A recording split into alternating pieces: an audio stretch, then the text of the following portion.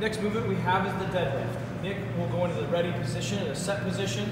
We really want to focus on keeping that chest up nice and tall, dropping your butt down, focus on your hands being equal. He's going to drive up through that, making sure to lead with his shoulders first.